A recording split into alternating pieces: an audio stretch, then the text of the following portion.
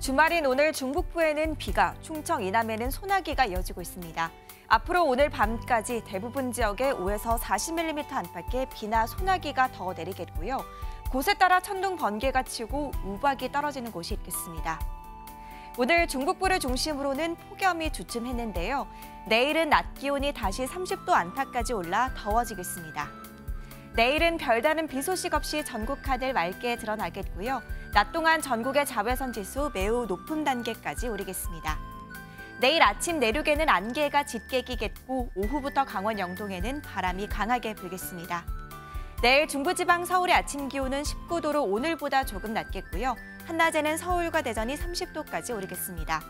남부지방도 한낮에 광주 30도, 대구는 31도까지 오르겠습니다. 다음 주에는 대체로 맑은 가운데 낮 기온이 갈수록 오르겠습니다. 내셨습니다.